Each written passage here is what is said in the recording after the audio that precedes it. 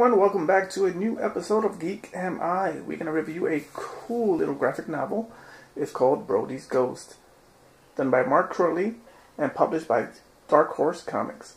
Uh, this is a book one of a series of six that he has published uh, a few years ago. And But they are worth reading because I am a follower and a subscriber to Mark's channel here on YouTube.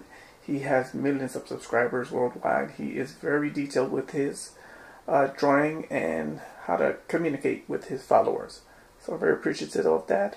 I wanted to support him by picking up this book and making sure that you guys have a chance to read it as well. So go ahead and get it. It has a great deal right now on Amazon.com.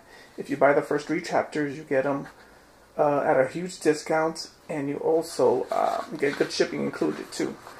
Check out some of the work that Mark be doing.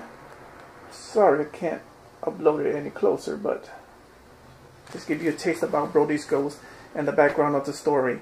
Brody is a young teenager, uh, and he is going through some life changes at the moment. So he kind of runs into a ghost named Talia, or the ghost runs into him.